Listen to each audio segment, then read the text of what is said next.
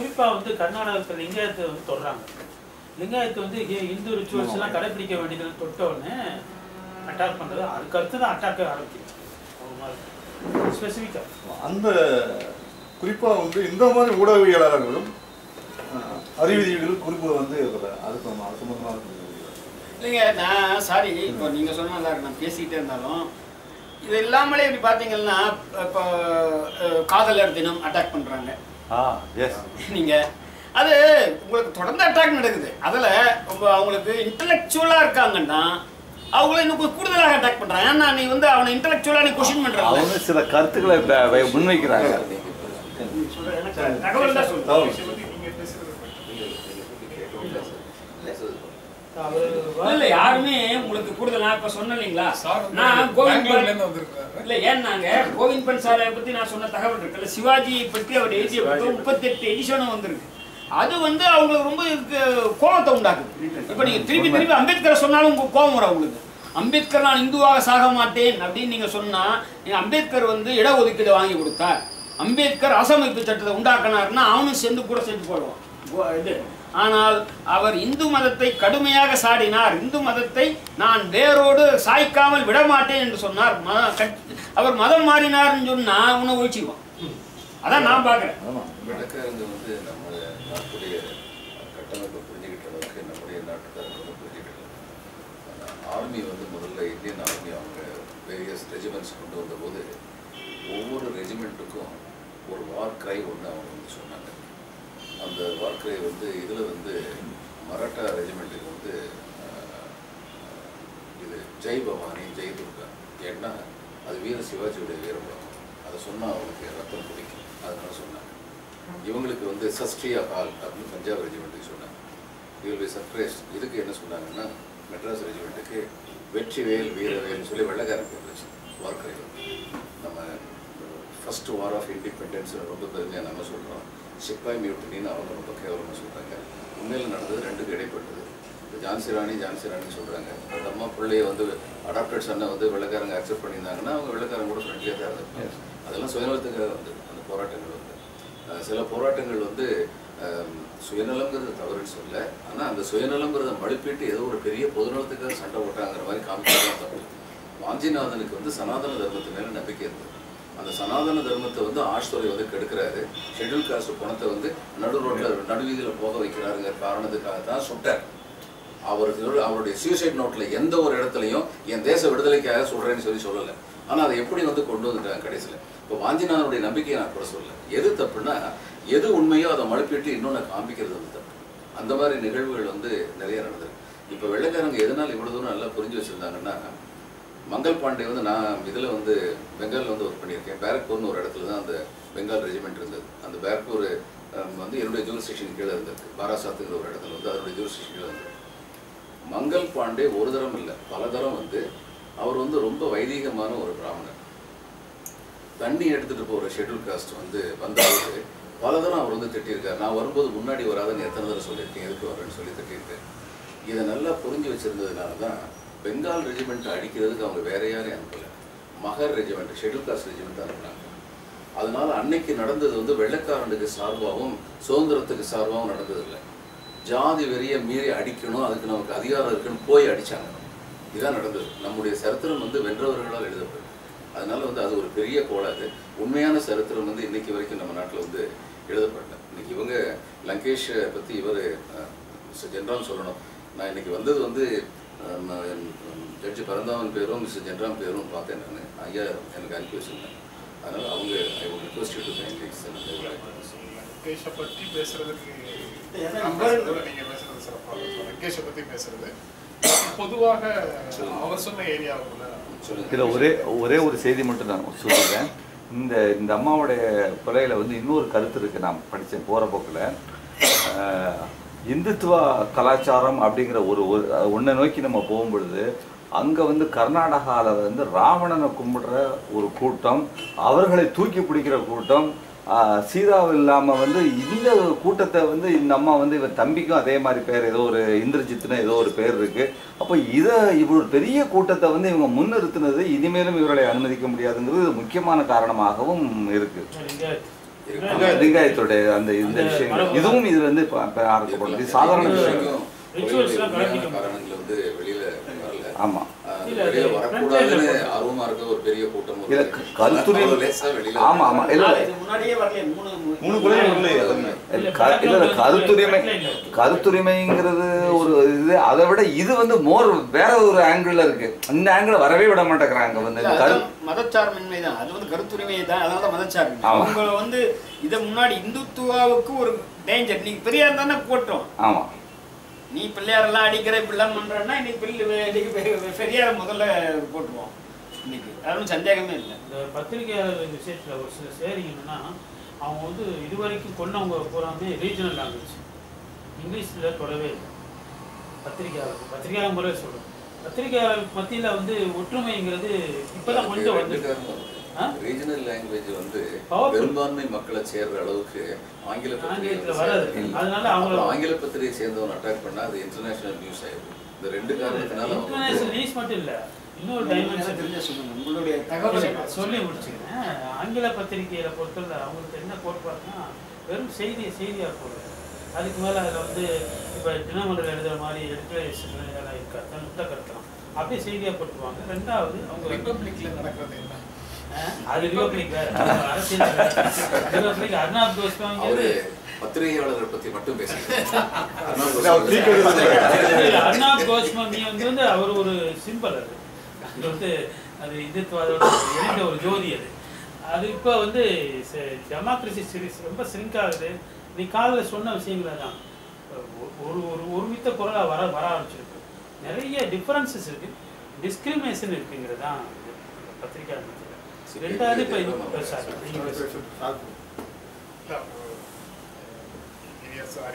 பேசும்போது கிட்டத்தட்ட எல்லா விஷயங்களையும் பேசினாரு. அதை ஒட்டி அல்லது அவர் விடுபட்டு போன சில விஷயங்களை மட்டும் பகிர்ந்துக்கலாம் அப்படின்னு நினைக்கிறேன். இன்றைய சூழல் கௌரி லங்கேஷ் நினைவாக அப்படின்னு நம்ம கூடணும் கருத்துரிமை இன்றைய சூழல் நம்ம சில மாதங்களுக்கு முன்னால நேற்றைய சூழல்ல நம்ம வந்து கல்புர்கியை பற்றி பேசியிருக்கோம் ஜவஹர்லால் நேரு பல்கலைக்கழகங்களில் நடந்த கருத்துரிமை படிப்பை பற்றி பேசியிருக்கிறோம். ஐஐடி மெட்ராஸில் நடந்த கருத்துரிமை படிப்பை பற்றி பேசியிருக்கிறோம். ஹைதராபாத் சென்ட்ரல் யூனிவர்சிட்டியில் நடந்த கருத்துரிமைகளை பற்றி பேசியிருக்கிறோம். சரி மாணவர்கள் மாணவர்களை கட்டுப்படுத்துவதற்கு அரசு எடுக்கக்கூடிய முயற்சிகள்னு அதையெல்லாம் ஒரு பக்கம் தள்ளிட்டு உயிரை பறித்த வகை அப்படின்னு சொல்லி இதையெல்லாம் நம்ம பார்க்கிறோம் அப்படின்னு பார்த்தாலும் ஏராளமான உயிர் இப்போ சத்யேந்திர துபேல இருந்து விசில் ப்ளோயர்ஸ் ஏராளமான நபர்களை வந்து பறி கொடுத்துருக்கிறோம் ஆர்டிஐ ஆக்டிவிஸ்டுகளாக நிறைய பேரை பறி கொடுத்துருக்கிறோம் இன்னும் சமூக தளத்துல தீண்டாமைக்கு எதிராக போராடுறவங்களையும் அல்லது சாதி மறுப்பு திருமணங்கள் செய்யறவங்களையும் பறி கொடுத்துருக்கிறோம் அது எல்லாத்தையும் விட இது வந்து உடனடியாக ஒரு சென்சேஷனை கொடுக்குதா? அல்லது நம்ம வந்து நம்மளை வந்து இது இந்த மாதிரி கூடி பேச வைக்குதா அப்படின்னு பார்க்கும்போது அது நீங்கள் ஆரம்பத்திலே குறிப்பிட்ட மாதிரி அறிவுத்தளத்தில் நம்மை அறியாமல் நம்ம தலைக்குள்ள எழுதி வச்சிருக்கிற சில விஷயங்களை அழிக்க முயல்கிற எழுத்தாளர்களை பத்திரிகையாளர்களை அழிக்கிறது அப்படிங்கிற ஒரு பேட்டர்ன் தான் இந்த நாலு விஷயங்கள்லேயே இருக்கு. அந்த நாலு விஷயங்களையும் அந்த பேட்டர்னை பார்க்கும்போது தான் இது ரொம்ப டேஞ்சரஸாக தெரியுது. அப்படின்னா மற்றதெல்லாம் டேஞ்சரஸ் இல்லையா அப்படிங்கிற கேள்வி எல்லாமே டேஞ்சரஸ் தான். இது எல் எல் தனித்தனியாக நடக்கக்கூடிய இந்த அவ்வளவையும் நான் என்ன சாப்பிடணுங்கிறத தீர்மானிக்கிறது நான் மாட்டை வச்சு சாப்பிட்டா என்ன கொள்வது நான் மாட்டை வியாபாரத்துக்காக கொண்டு போனா என்ன கொள்வது அப்படின்னு கொல்வது இப்போது அன்றாட நிகழ்வு. அதாவது சாதாரணமாக திருமணத்தை மீறிய உறவு பெண் மீது மனைவி மீது சந்தேகம் சொத்து தகராறு அப்படின்னு சொத் உடைமை சம்பந்தமாக நடந்து வந்த கொலைகள் எல்லாம் மாறி இப்ப கொலைகள் வந்து சர்வசாதாரணமாக போகும் கொலைகள் சர்வசாதாரணமாக போகும்போது இயல்பாக அது ஒரு சாதாரண செய்தியாக நாம் கடந்து போறோமா அப்படின்னு நான் பார்க்கிறேன். அவர் ஹரிபரதாமன் பேசும்போது முழுக்க முழுக்க அரசமைப்பு சட்ட ரீதியாக நமக்குள்ள உரிமைகள் என்ன வழக்குகளில் என்ன வந்ததுன்னு சொன்னாங்க நான் வந்து மக்களிடத்தில் நிலவக்கூடிய கருத்துக்கள் அப்படிங்கிற நிலைமையில இருந்து பார்க்குறேன். வேறு எந்த சூழலையும் இல்லாத அளவுக்கு கௌரி லங்கேஷ் படுகொலையில் எனக்கு ரொம்ப டிஸ்டர்ப் பண்ண விஷயம். அந்த கொலையை கொண்டாடும் மண்ணில் ஒரு செக்ஷன் அந்த கொண்டாடுபவர்கள் வந்து என் கூட வேலை செய்யறவங்களா இருக்கலாம் என் வீட்டுக்கு பக்கத்துல இருக்கிறவங்களா இருக்கலாம் அவங்க கூட வேலை செய்யறவங்களா இருக்கலாம் அவங்க வீட்டுக்கு பக்கத்துல இருக்கிற குடியிருக்கிறவங்களா இருக்கலாம். நாம் அன்றாடம் பார்த்து நம்ம கைகுலுக்கி பேசிட்டு இருக்கிற நபர்களாக இருக்கலாம். ஆனா அவர்கள் மனசுக்குள்ள எப்படி அந்த கொண்டாடுற மனநிலை வருது? அப்ப நம்ம எங்க கோளாறு? மூணு வருஷத்துக்கு முன்னாடி ஆரம்பிச்ச கோளாறா இது அப்படிங்கிற கேள்வி வரும் அல்லது அதுக்கு முன்னால உண்டான கோளாறா? இந்த கொண்டாடுற மனநிலைக்கு சாதகமான சூழல்கள் என்ன? கோட்பாடுகள்ல இருந்து நம்ம சமூகத்தை முற்றிலும் விலக்கி கொண்டு போவதற்கான முயற்சி அப்படின்னு ஒண்ணு அரசியல் நீக்கம் அப்படிங்கிறது வந்து தனி மனித வளர்ச்சி காரணமா வளர்ச்சி வளர்ச்சி அதாவது நீங்க வேலை பார்க்கணும் நீங்க முன்னேறணும் அப்படிங்கிற ஒற்றை இலக்கை எல்லா இடத்துலையும் முன்னிறுத்துவதன் மூலமாக ஒரு தலைமுறையையே வந்து மனிதாபிமானத்தோட மற்றவர்களை பார்ப்பதற்கான சூழல்ல இருந்து நம்ம விலக்கி எடுத்துட்டு போயிட்டோமா அந்த ஏரியா எல்லாத்தையும் சரி செய்வதற்கான முயற்சிகள் எதுவும் இல்லாம இது போன்ற தாக்குதல்களை நம்மால எதிர்கொள்ள முடியுமா? அப்படிங்கிற அதாவது ஒன்றை ஒன்று நிபந்தனையாகவோ முன் நிபந்தனையாகவோ வைக்கல. ஆனா இது எல்லாத்தையும் ஒருங்கிணைப்பதற்கான வலிமை வந்து நம்ம கிட்ட இருக்காங்கிற கேள்வி வந்து இது சம்பந்தமான விஷயங்கள்ல எனக்கு அதனாலதான் நான் பொதுவாக எந்த நிகழ்வுகளுக்கும் இது சம்பந்தமாக போகிறது இல்லை போகிறது இல்லைன்னா இந்த சென்ஸ் தட்டையாக எல்லா விஷயங்களையும் பார்த்து விமர்சனம் பண்ணிட்டு போகிற அரசியல் ரீதியான ஆதாயங்களுக்காக இது போன்ற நிகழ்வுகளை தட்டையாக பார்த்து பேசிட்டு போகிற நபர்களோட அங்கே போய் உட்காந்து பேசுவதில் எந்த பலனும் இல்லை அப்படிங்கிற உணர்வுல நான் பெரும்பாலும் போகலை. பாலு சொன்னார் இவர் வராருன்னு சொன்னார் அப்படிங்கிறதுனால நான் உடனடியாக வந்தேன். நான் பேசணுங்கிறது எனக்கு நோக்கமே இல்லை. அவர் வராது அவர் பேசுறது கேட்கணும். தான் வந்தேன் அவர் கூப்பிட்டதுனால உடனே சரின்னு சொல்லிட்டாங்க அவ்வளோதான் இது இ- இப்போ வந்து இது ரொம்ப சாதாரண தியரி. மக்களிடத்துல எந்த கருத்து ஆளுமை செலுத்தும் அப்படிங்கிறது வந்து ஆளும் வர்க்க கருத்துக்கள் தான் மக்களிடத்துல ஆளுமை செலுத்துங்கிறது தியரி. அப்போ அது ஆளும் வர்க்க கருத்து அப்படிங்கிறது குறிப்பிட்ட அரசியல் கட்சியினுடைய கருத்தா அப்படிங்கிற கேள்வியை தாண்டி அதை பார்க்க வேண்டியது அவசியம். அதை மொத்தமா பார்க்காம எல்லாவற்றையும் ஒரு தரப்போட சுருக்கிக்கிட்டோம்னா நம்ம சரியான இலக்கை நோக்கி போறோமாங்கிற கேள்வி எனக்குள்ள வருது நான் அதனாலதான் இந்த அரசியல் கட்சிகளோட பேசுறது ரொம்ப கஷ்டமான விஷயம். சுதந்திரமான சிந்தனை கொண்டவர்களோட பேசுறது அவசியமான விஷயமாகவும் தெரியுது அந்த ஒரு ஒருங்கிணை அந்த ஒரு சுதந்திரமான சிந்தனையாளர்கள் இடத்துல ஒரு ஒருங்கிணைப்பு வருவதும் அந்த ஒருங்கிணைப்பிலிருந்து இயக்கங்கள் கட்டப்படுவதும் அந்த இயக்கங்கள் சமூகத்துல ஒரு தாக்கத்தை ஏற்படுத்துவதன் மூலமாகத்தான் உ- உயர்நீதிமன்ற உச்சநீதிமன்ற நீதிபதிகள் தங்களுடைய கருத்துக்களை மாற்றிக்கொண்டு வேறு தீர்ப்புகளை கொடுப்பதற்கான சூழலையும் உருவாக்க முடியும்.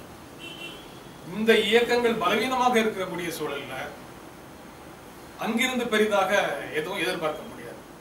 இப்ப எப்படி வந்து வி ஆர் கிருஷ்ணயர் கொடுக்குற மாதிரி தீர்ப்பையோ பகவதி கொடுக்குற மாதிரி தீர்ப்பையோ வி எம் தார்குண்டே கொடுக்குற மாதிரி தீர்ப்புகளையோ பகவத் அந்த மாதிரி நீதிபதிகள் கொடுத்த தீர்ப்புகளை இப்ப இருக்கக்கூடிய நீதிபதிகள் எங்கேயுமே கொடுக்கறது அபூர்வமாக ஏன் இருக்கு? ஏன்னா இந்தியா முழுக்க இயக்கங்கள் இல்லை ஐயா பேசும்போது கேரளாவையும் தமிழ்நாட்டையும் விதிவிலக்காக சொல்றாரு. நான் அதுலயும் கூட அவநம்பிக்கையோட தான் இருக்கேன். எனக்கு அவநம்பிக்கை இருக்கு.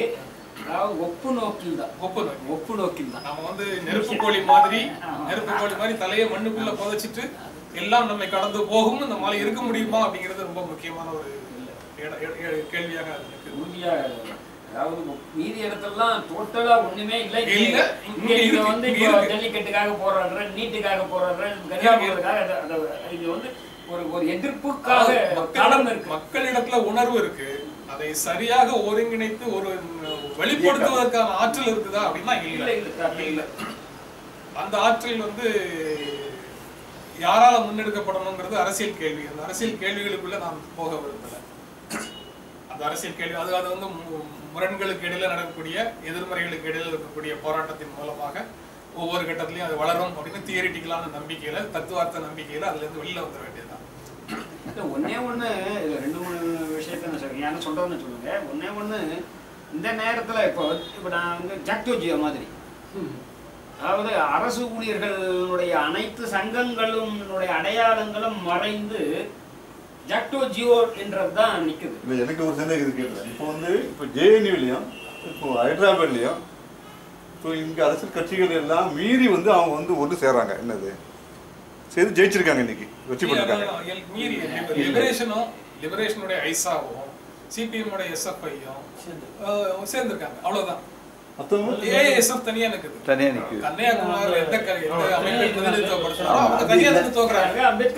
அம்பேத்கர் அமைப்பு அதாங்க நீங்க நான் சொல்ல வர்றது அவங்க ஆமா லிபரேஷனும் சிபிஎம்மும் ஏற்கனவே தேர்தல் களத்துல ஒண்ணா இருக்காங்க.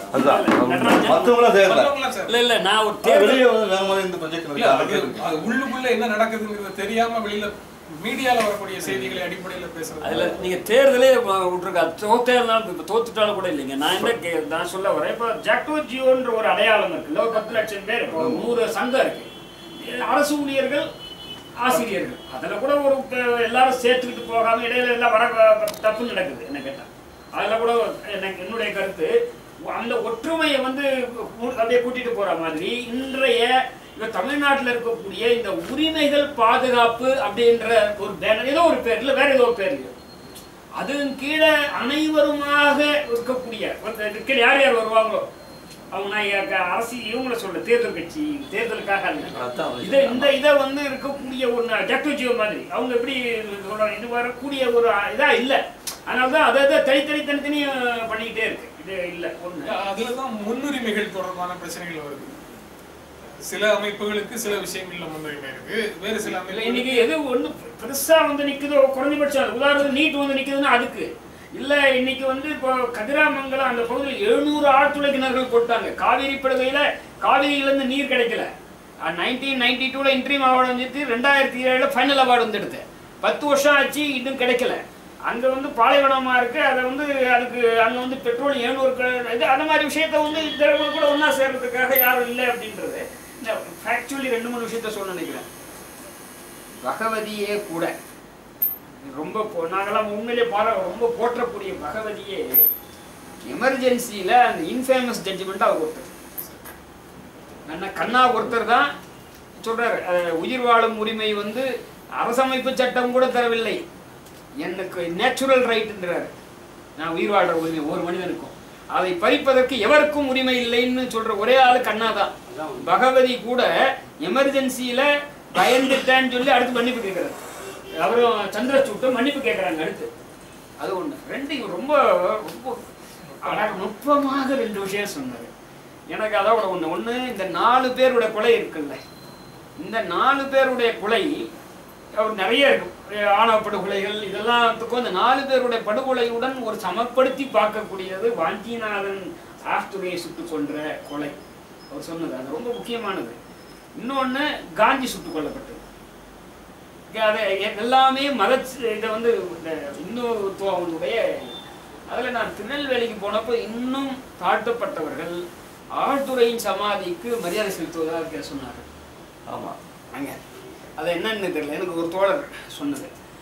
என்னன்னா இந்த கூடுதலாக நான் ஒரு விஷயம் சொல்லணும்னு நினைக்கிறேன். ஏன்னா காஞ்சிநாதன் ஆழ்துறையை சுடுவதற்கு இப்போ பகத்சிங் வந்து அவர் தூக்குல போட்டதுக்கான காரணம் பாம் இருந்ததுக்காக இல்லை. ஏன்னா அதுக்கு தூக்குல போடல அவரை லஜபதி ராயின் மண்டையை உடைத்த அந்த நபரை அது அவரை அவரை சுட்டு கொள்றார் அதுக்காக தான் போடுறாங்க அவரை. அதே மாதிரி ஜாலியன் வாலாபாக்குக்கு அந்த அதுக்கு அந்த ஆர்டர் பண்ணவனை போய் யூகேல தங்கி இருந்து சுட்டு கொள்றாரு அந்த மாதிரி ஆழ்துறை என்ன பண்ணார்? இங்க. இந்த வந்து வஉசியோட கையை உடைச்சாரு. இல்ல அப்படின்னு எதுவுமே கிடையாது. அவர் சொன்னதுதான். ரொம்ப சொன்னாரு. மேல் தாழ்த்தப்பட்டவர்களுடைய பிணத்தை ஜாதி இந்துக்கள் வழியா எடுத்துட்டு போற அனாசாரம். அவர் சொல்றாரு மாட்டுக்கறி சாப்பிடுற மிலேச்சன்னு சொல்றாரு. அதனாலதான் இன்னைக்கு அதை வந்து இன்னைக்கு அவங்கள இன்னைக்கு ஏன்னா ஒரு இடதுசாரி தலைவர் கூட துக்ளக் பத்திரிகை கொடுத்த ஒரு செய்தியில வாஞ்சிநாதனை புகழ்ந்து ஒரு ரெண்டு மூணு வயசுக்கு முன்னாடி சொல்றாரு. ஒரு இடதுசாரி தலைவர். அஹ், அதனாலதான் இதெல்லாம் முக்கியமான செய்தியாக நான் பார்க்கறேன். இந்த வாஞ்சிநாதன் பத்தி அவர் சொன்ன செய்திகள்லாம். அதை இந்த ஜான்சி ராணியை சொன்னதையும் ரொம்ப ரொம்ப நுட்பமாக சொன்னார். ஆக்சுவலி அந்த அம்மா இருக்கு அந்த அம்மா வந்து ஒரு பிராமின் லேடி சத்திரியரை கல்யாணம் பண்ணிருக்கு இந்த அம்மாவுக்கு பதினஞ்சு வயசு அவனுக்கு நாற்பத்தஞ்சு வயசு. அவங்க குழந்தை கிடையாது இறந்து போயிடுறான். அப்போ அடாப்ட் பண்ணி. இந்த அடாப்ட் பண்றத வெள்ளைக்காரன் ஒத்துக்காம குழந்தை இல்லை ராஜ்யம் எனதுன்றான் அதுக்காக அது வந்து எயிட்டீன் ஃபிஃப்டி செவன் சிப்பாய் கழகத்தோட அல்லது முதல் சுதந்திர போடுறதோட கோயில் சைடு ஆகுது. அதுல என்ன முக்கியம்னா இது ஜான்சி என்ற கிங்டமும் குவாலியர் கிங்டமும் பக்கத்துல பக்கத்துல இருக்கு. இந்த குவாலியர் இருக்காங்கல்ல அந்த சிந்தியா ஃபேமிலி வந்து பிரிட்டிஷோட சேர்ந்து சிப்பாய் கழகத்தையும் ஜான்சி ராணியும் கொல்லுவதற்கு உதவி செய்தவர்கள். மகாராஜா ரஞ்சித் சிங் பண்ணார்? ஏன்னா அன்னைக்கு ரஞ்சித் சிங்கோட வாரிசுகள் இன்னைக்கு அரசியல் லாபம் பார்க்கறாங்களான்னு தெரியல. ஆனால் சிந்தியாவுடைய குடும்பத்தினர் ஒவ்வொருவரும் காங்கிரஸ் இருந்தாலும் ஆட்சியில இருக்காங்க. இன்னைக்கு இன்னைக்கு வந்து பிஜேபிலையும் ராஜஸ்தான்ல முதல் மந்திரியா உட்காந்துக்கிட்டு இருக்காங்க. இன்னொருத்த வந்து எம்பியா உட்காந்துக்கிட்டு இருக்கான். அதுக்காக இன்னைக்கு நீங்க ஜான்சி போனீங்கன்னா நான் ஜான்சி போனேன் எல்லா அவன் வந்து இந்த சிந்தியான்னு சொன்னாலே கோவப்படுறான். ஜான்சியில் இருக்கிறான் அங்க இன்னும் முக்கியமான என்னன்னா ஜான்சியுடைய படை அந்த இது இருக்கே அவ- அவ- அவரும் முஸ்லீம். அந்த படை தளபதி ஜான்சி ராணி. அதை யாரும் சொல்ல மாட்டாங்க ஜான்சி ராணியை கடைசி வரை கூட ஃபைட் பண்றவர் வந்து முஸ்லீம். படை படை தளபதியா இருக்கிறவர் தேசியங்களுடைய படைத்தளபதி சிங். கொஞ்சம் இந்த விஷயத்தை முறைப்படுத்திக்கலாம் ஏன்னா என்ன இப்போ இந்த கொலைகளுக்கும் இப்போ வந்து இவங்க வந்து பிஜேபி கவர்மெண்ட் வந்து தொடர்ச்சியாக ஒரு பாலிசியை அடாப்ட் பண்றாங்க. அவங்களுடைய ஒவ்வொரு கார்பரேட்டுக்கு உள்ள நுழைக்கிறாங்க எல்லாத்தையுமே. இந்த கொலைகள் மூலம் ஒரு பக்கம் இப்படி இப்படி கொலைகள் இல்லாட்டி அவங்க பசுவதை எல்லாம் செய்ய சொல்ல இன்னொரு பக்கம் பார்த்தீங்கன்னா மிக வேகமாக இந்த திட்டங்களை நடைமுறைப்படுத்திட்டே வராங்க. ப்ரோவோக் பண்ணிட்டு இந்த பக்கம் இங்க. ஒரு பக்கம் ப்ரொவோக் பண்றாங்க இல்லாட்டி அவங்க விவாதங்கள் ஒரு பக்கம் நடந்துட்டே இருக்கு. இன்னொரு பக்கம் முழுக்கவே வந்து கார்பரேட்டுடைய இல்லாட்டி வந்து பெருமுதலாளிகளுக்கு அள்ளி கொடுக்குறாங்க. இன்னைக்கு வந்து இதுல இருந்து தெரியும் உங்களுக்கு என்னது? செலாக்காத்துல இருந்து எல்லா விஷயத்துலயுமே தெரியும் இதுக்குள்ள தொடர்புகள் பத்தியான நம்ம என்ன எப்படி புரிந்து கொள்வது? இல்ல இல்ல இதையே அதை வந்து என்ன கேட்டீங்கன்னா எல்லாமே காங்கிரஸ் சர்க்காரும் இவர்களும் கொஞ்சம் எப்ப எப்போ என்னுடைய கருத்து எப்ப எப்ப வந்து பார்லிமெண்ட்ல ஒரு வீக்கான அரசாங்கம் இருக்கோ அப்பதான் உங்களுக்கு இதா இருக்கு. அது இந்திரா காந்தி இருந்தாலும் ராஜீவ் காந்தி இருந்தாலும் இப்ப மோடியாக இருந்தாலும் மெஜாரிட்டியா இருந்தா அவங்க வந்து பண்றாங்க. இப்ப உதாரணத்துக்கு இப்போ இந்த இப்போ உலகத்திலேயே இந்த எண்ணெய் எடுப்பது நான் விவாதிக்க இப்ப என்ன சொல்றாங்கன்னா ஒண்ணு எண்ணெய் இருக்கே. இன்னைக்கு எண்ணெய்க்கு மாற்று எரிசக்தியா வரணுன்றது வேற விவாதம் நடந்துகிட்டு இருக்கு அப்படி எண்ணெயை எடுத்தாலும் பாலைவனத்தில் எடுக்கிறார்கள். இல்லை என்றால் ஆஃப் ஷோர்ல எடுக்கிறாங்க இந்த விவசாய நிலத்துல எடுக்கிறது வந்து இங்க தான் கோதாவரியிலையும் சரி இங்க காவேரியிலையும் சரி. கோதாவரியும் காவேரியும் அம்பானி கொடுத்துருக்கு. அவங்க கொடுக்கும்போது இவருடைய முக்கியமான காரணம் என்ன சொன்னாங்கன்னா இப்போ நமக்கு அந்நிய செலாவணி இல்லை. எண்பது சதவிகிதம் எண்ணெயை நம்ம வெளிநாட்டிலேருந்து கொண்டு வரோம். அதுக்காக நான் பண்ணுறோன்றாங்க அப்போது அம்பானி என்ன கேட்டாரு? வெளிநாட்டில் வாங்குற எண்ணெய் அந்த வேலை எனக்கு கொடுந்தாரு கொடுத்துட்டான் அதுக்கு நம்ம நிலத்தையாவது பாடு பண்ண வேண்டாம். வெளிநாட்டுல வாங்கிக்கலாம். இல்ல அதாவது என்னன்னா எந்த அளவுக்கு இவர்கள் வந்து இது பண்றாங்க அப்படின்றதுக்காக அது அது அதுக்காக இந்த இது வந்து எல்லாருமே பண்ணிட்டு இருக்காங்கன்றது தான். அவங்களுக்கு ஃபண்டிங் அதெல்லாம் நடக்கும். நாளைக்கு இதெல்லாம் பெரிய இதுவே கிடையாது. இன்னைக்கு என்பிஏ பண்றாங்க. இன்னைக்கு பாத்தீங்கன்னா இன்னைக்கு அந்த ஜப்பான் கிட்ட இருக்க point zero one percent interest வாங்கி தொழிலுக்கு தொழில் முதலாளிகளுக்கு நூறு மில்லியனா டாலரை அவன் தராங்க. விவசாயிகளுக்கு ஒண்ணுமே தர மாட்டேங்கிறான் விஜய் மல்லையா மட்டும் ஒன்பதாயிரம் கோடி இன்னைக்கால ஸ்டேட் பேங்க் எம்ப்ளாயீஸோட பென்ஷனர் கூட்டத்தில் பே பேசுறப்ப சொன்னேன் அவங்க நிறைய கோரிக்கை வைக்கிறாங்க விஜய் மல்லையா ஒன்பதாயிரம் கோடி நீங்க தான் வெயிட் பண்ணீங்க ஸ்டேட் பேங்க்ல தமிழ்நாடு அரசாங்கம் விவசாயிகளுக்கு அத்தனை பேர் கொடுத்து ஏழாயிரம் கோடி கோஆபரேட்டிவ் பேங்க் வெயிட் பண்ணுது அவங்க மட்டும் ஒன்பதாயிரம் கோடி இன்னைக்கு இப்போ அம்பானிக்கு லோன் இருக்கு பாருங்க. எஜுகேஷன் லோன் நூறு கோடியை ஃபிஃப்டி ஒரு ஃபிஃப்டீன் பர்சன்ட் ஃபிஃப்டிக்கு வித்துட்டான். நீ கரெக்ட் பண்ணிட்டான்னு சொல்லி. அது ஸ்டேட் பேங்க் எனவே இதெல்லாம் தொடர்ந்து நடக்கிறது தான் அதாவது இதோட சேர்த்து நம்ம இப்ப மிக பார்க்கறது வேகமா நடக்குது. அதாவது தொடர்ந்து இல்லைங்க அது என்ன நடக்குது அதுக்கு அவங்க வந்து மிக- இப்போ ஒரு- மெஜாரிட்டியா இருக்கிறது. சப்போஸ் இல்ல நாளைக்கு டூ தௌசண்ட் நைன்டீன்லயே மோடி வந்து ஒரு நூத்தம்பது சீட் தான் வரான்னு வச்சுங்க அவர் நிதிஷோட இருக்காரு மீதி பேரோட நிதிஷ் பதிலா எவ்வளவு சண்டை போட்டாரு? அந்த அந்த செக் இருக்குங்க. இன்னைக்கு அது ஒரு காரணமாக நான் பார்க்கிறேன். இங்க எப்போதுமே இது அதை நோக்கிய இப்ப இந்த கார்ப்பரேட்டுடைய உலகமாக இன்னைக்கு வந்து முழுக்க முழுக்க வந்து இந்த, இந்த இந்த தொழில் வளர்ச்சி இருக்கு பாருங்க. அது வளர்ச்சி அந்த வந்து தவிர்க்க முடியாது. முதலாளித்துவத்தினுடைய நீதி நீதிகளில் அது ஒன்றாக நான் பார்க்கிறேன். அந்த அந்த அந்த வளர்ச்சியை. அதை வந்து இந்த க- வளர்ந்துக்கிட்டே போகிறது அது கிராமங்கள் அழிவதும் இதுவும் ஒன்றதை நிச்சயமாக நடக்கும். அதில் ஒன்றும் பெரிய அஹ், மாநிலத்துல பிரச்சனை இதுல இல்லை. இதுல ஒரு. ஒரு ஒரு அஞ்சு நிமிஷம் நான் கருத்துக்கள்லாம் தோழர் ஜென்ராம் சொன்ன கருத்து வந்து ரொம்ப தோழர் சொன்னதுக்கு அப்புறம் வந்து ஒரு முக்கியமான கருத்து நான் பார்க்குறேன். என்ன கருத்துன்னு சொன்னா அரசியல் கட்சிகள் இப்போ நம்ம கூடினது இதை மாதிரி ஏதாவது செய்ய முடியுமா அப்படிங்கிறதுல அரசியல் கட்சிகள் எதுவும் இப்போ செய்ய முடியாத நிலைக்கு வந்து இந்த மத்திய அரசாங்கம் கொண்டு வந்தாச்சு. அது இந்தியாவில் உள்ள மட்டும் இல்லை நம்ம அரசியல் கட்சிகளே அந்த நிலைமை இல்ல. கொண்டு போயிட்டாங்கிறதுக்கு அவங்க எல்லாருடைய இல்ல இல்ல. இல்ல எல்லாருடைய டிஎம்கேல இருந்து எல்லாருடைய கேஸையும் கையில வச்சுட்டு இந்தியால எண்ணி காங்கிரஸ் உள்பட எல்லாரையுமே வந்து இம்பார்ட்டன்ட் ஆகி நிறுத்துனது இதுவரைக்கும் எந்த அளவுக்கு இல்ல. உண்மை. கேஸ் வர்றதுக்கான முகாந்திரம் வந்து இவங்க கை நீட்டது கை நீட்டதான் கை நீட்டதான் இல்ல இல்ல அது சரி. அது சரி. இவர்கள் இருந்தார் ஒரு ரெண்டாவது இதுவரை காங்கிரஸ்காரங்களும் கிட்டத்தட்ட ஒண்ணா இருந்தா கூட இந்த டெமோக்ராட்டிக் இன்ஸ்டிடியூஷன் எல்லாத்தையும் உள்ளிருந்து இவங்க கைப்பற்றிட்டாங்க. இன்னைக்கு தேதியில். அதாவது பிரசிடென்ஷியல் ஆஃபீஸையும் இருக்கட்டும் அல்லது வந்து நம்மளுடைய எலெக்ஷன் கமிஷனாக இருக்கட்டும் சீஃப் ஜஸ்டிஸ் சுப்ரீம் கோர்ட் இதாக இருக்கட்டும் அல்லது சென்ட்ரல் இன்ஃபர்மேஷன் கமிஷனாக இருக்கட்டும் உயர்நிலை உள்ள உயர்கல்வி அமைப்புகள் எல்லா அமைப்புகளாக இருக்கட்டும் எல்லாமே கிட்டத்தட்ட மோரார்லெஸ் வந்து கேப்சர் பண்ணியாச்சு. இப்போ எங்கேயுமே நம்ம போக முடியாத அளவுக்கு ஒரு ரூத்லெஸ் டிட்டர்மினேஷன்.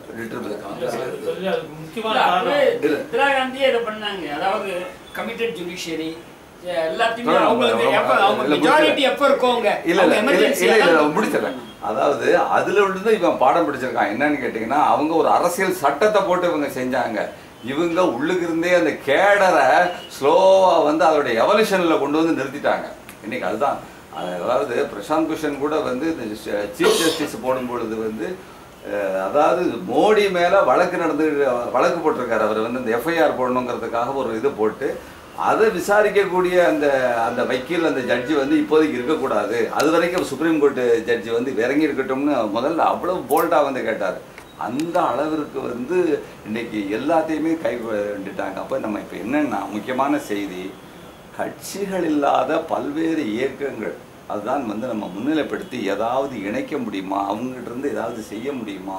அப்படிங்கிறது தான் இன்னைக்கு முக்கியம். ஏன்னா எல்லா கட்சிகளும் தாங்கள் ஏதோ ஒரு காரணத்தினால இன்னைக்கு செயலற்ற நிலைக்கு வந்தாச்சு. இன்னைக்கு அவளை நம்பி பயன் இல்லை. தமிழ்நாட்டில் கூட பார்த்தீங்கன்னா இன்னைக்கு வந்து எல்லா இந்த தேசத்துறவு சட்டமாக இருக்கட்டும் இந்த மற்ற சட்டங்களாக இருக்கட்டும் எல்லாம் வந்து இயக்கங்கள் மேலே உள்ளவங்க தான் போடப்பட்டிருக்கக்கூடிய கட்சிகள் மேலே உள்ளவங்க யாரும் போடப்படலை. இப்போ இங்கே வந்து டெல்லியில இருந்து போடப்பட்ட சட்டங்களின் கட்சிகள் வந்து எந்த விதமான எதிர்வினை எதிர்வினையும் செய்யல. எதிர் எங்களுக்கு அவங்களுக்கும் அதுக்கும் சம்பந்தம் இல்லாத மாதிரி ஆயிட்டு வந்து அப்போ டெல்லியில இருந்து இடதுசாரிகள் கூடுதலாக செய்ய வேண்டும் என்று எதிர்பார்க்கப்பட்ட அந்த அமைப்புகள் அவர்கள் எதுவும் செய்ய திராணியிட்டு இருக்கிறார்கள் என்பது உண்மை. டெல்லி ஆல் இந்தியா லெவலில் வந்து எதுவுமே அவங்க வந்து அது பல்வேறு காரணங்கள் இருக்கலாம். அப்போ சில வந்து ஒரு டெமோக்ராட்டிக் லிபரல் டெமோக்ராட்ஸு அவங்க ஏதாவது செய்ய முடியுமா அப்படின்னு பார்க்குறாங்க. ஃபார் எக்ஸாம்பிள் இந்த பிரசாந்த் கிஷன். இவங்கெல்லாம் வந்து ஒரு ஆன்டி ஃபேசிஸ்ட் ஃப்ரண்ட்டு அல்லது வந்து ஆன்டி கம்யூனல் ஃப்ரண்ட்களை நோக்கி கட்டுறதுக்கு உங்களை மாதிரி ரிட்டையர்ட் ஜட்ஜஸ்ஸு ரைட்டர்ஸு இவங்களெல்லாம் வந்து யுனைட் பண்ணுறதுக்கு ட்ரை பண்ணிட்டு இருக்கிறாங்க. பல்வேறு இடங்களில் செய் செய்துட்டு இருக்கிறாங்க. அதே மாதிரி வந்து எல்லாரையும் காண்டாக்ட் பண்ணுவாங்க. லெப்டினன்ட் வந்து நூற்றி பதினெட்டு கட்சியை வச்சு கட்டினாங்க. அது அப்படியே இருக்கு. அது அடுத்த ஸ்டேஜ் நகர. இல்ல. ஆன்டி ஃபேசிஸ்ட் பண்ணிட்டு அவங்க இல்ல, கட்டினாங்க. ஒரே ஒரு இல்ல, நான் இல்ல, ஒரே ஒரு லைன் மட்டும் சொல்லிடுறாங்க. எமர்ஜென்சிக்கு அடுத்து இடதுசாரிகள் என்ன சொன்னாங்க? Failed. ஆ. இப்போ இப்பவும் we failed. ஆனா இல்ல நான் இதுக்காக சொல்ல இந்த இன்டெலெக்சுவல்ஸ் இருக்காங்க பாருங்க. அவங்க வந்து வெடிவு கொண்டு வர மாட்டாங்க. விடிவு கொண்டு வர மாட்டாங்க. நான் விடிவு கொண்டு வர மாட்டாங்க. ஆனா கர்வாபசி மாதிரி கர்வாபசி இல்ல. அவார்டு வாபசி மாதிரியான ஒரு இல்ல, அதாவது- வேகத்தை வந்து.